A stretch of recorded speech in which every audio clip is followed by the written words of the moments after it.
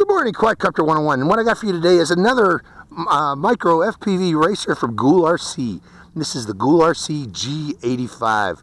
Now the G85, um, I'm kind of excited to give it a try here. Um, it is available and for uh, almost ready to fly and in bind and fly for uh, FlySky and FrSky and RadioLink. Unfortunately, as of now, they don't have DSM, uh, DSM2 version, DSMX version. Uh, hopefully someday in the near future they will get it. But uh, we have a 600 TVL camera. It's 40 channels, but what's neat about it is it's 200 milliwatt. So, you know, it's not your little rinky-dink 25 milliwatt FPV transmitter. Um, it also has a beeper, as you see here and a F3 uh, PIKOBLX uh, flight control board. Now, unfortunately, this does not have on-screen display, but again, we have the beeper to alert us if uh, we got low battery warning. Um, the PIKOBLX, I've been seeing this, this is the second time I've seen one of these on an FPV transmitter.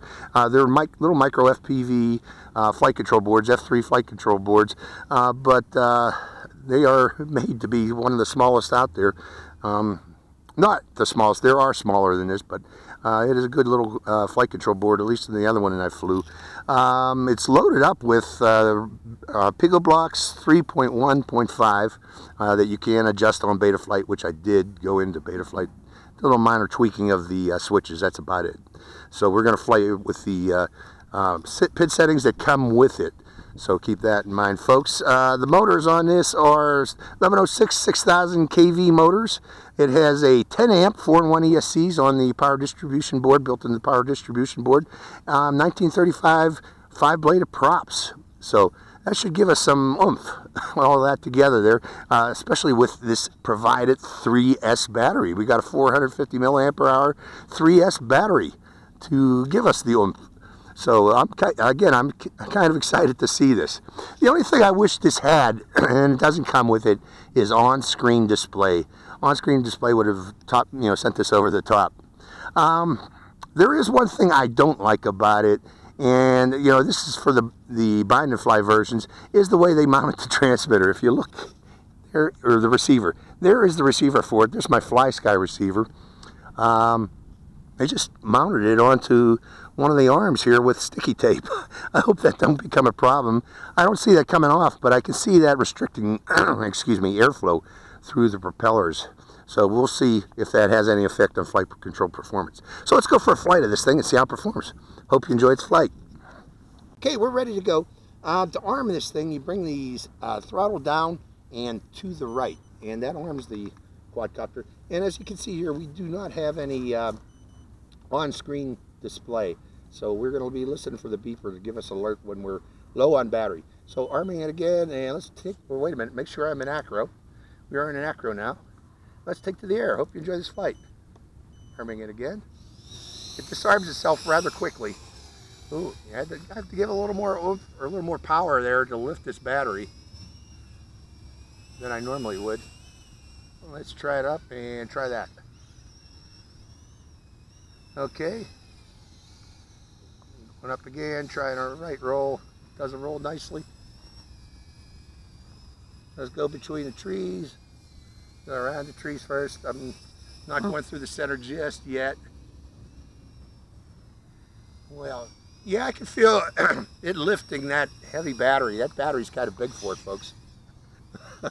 Although it can do it. Uh, this probably would be better with it, maybe with a 2S. You know, people say, oh, put a 3S battery on and make it scream.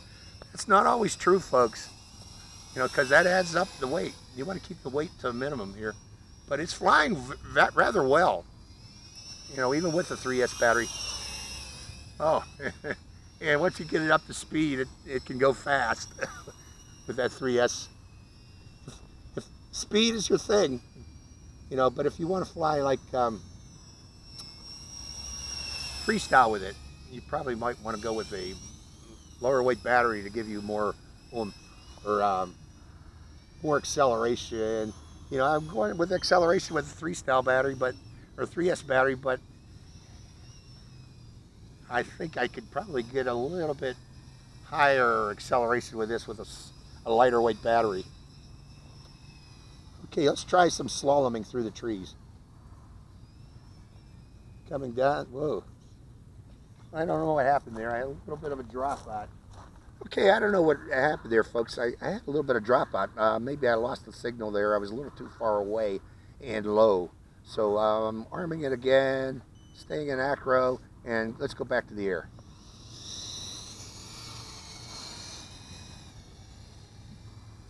But again, we'll try slowing through the trees again.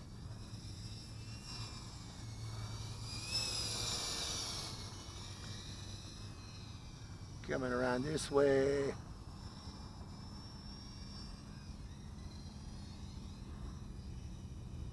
I can hear that beeper beeping already. Yeah, and it's it's oh, hot That's- juice. It That's it. juice.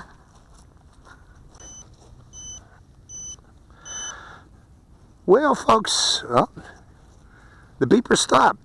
Going to try one more time there, but I was giving it a lot of throttle there at the end, so I think that you know we are getting close to battery power. Although I'm not not hearing the beeper beeping, so let's give it one more shot and see how it performs. And actually, I'm going to fly this one line of sight for this last part.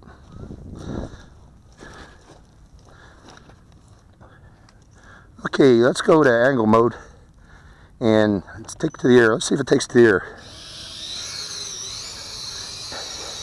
No, no, I'm giving a lot of power. That's it. there ain't, ain't no more throttle, no more power. So, this has potential. Um, this battery might be not be the best battery for it. it doesn't seem to, you know, it's a 3S battery, but uh, it really wasn't uh, giving it a lot of oomph, the, the amount of oomph that I, I would be expecting to see out of this. So uh, you might consider getting a replacement battery for this rather than the one that comes with it because it just didn't see to, seem to have the oomph that I normally see or would expect from this particular system. So that's the Gool RC G85. Hope you enjoyed this flight. It's Quadcopter 101 signing out.